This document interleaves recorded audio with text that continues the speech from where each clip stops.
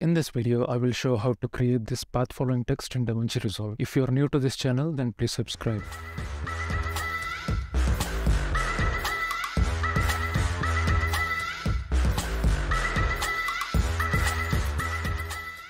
I have imported this roundabout road clip and I am in the Fusion page.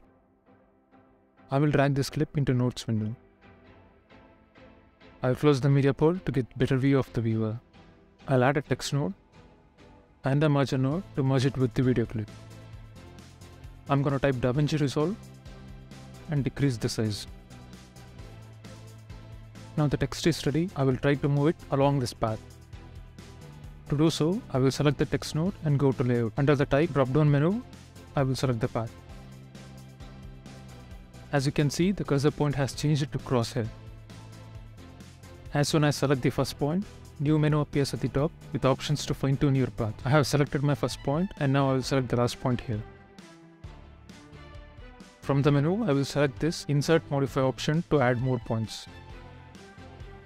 I'll add 3 points and move it to turning positions of the road. With the point selected, I will click on smooth to change it to a curve. I'll do the same for these two points. I know it's not a perfect path, but I'm happy with it for this demonstration. I'll make sure that I'm in the beginning frame and I'll go back to text.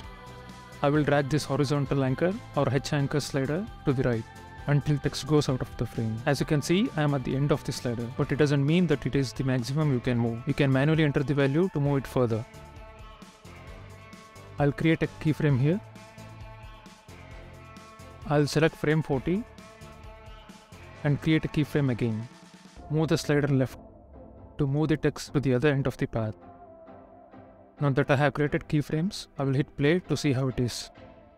Of course, you can always modify the path to fine tune it. You can also do the same thing with an image like a car, for example, which makes more sense moving on a road than a text. But you may have to add more keyframes in the middle to get the angles right.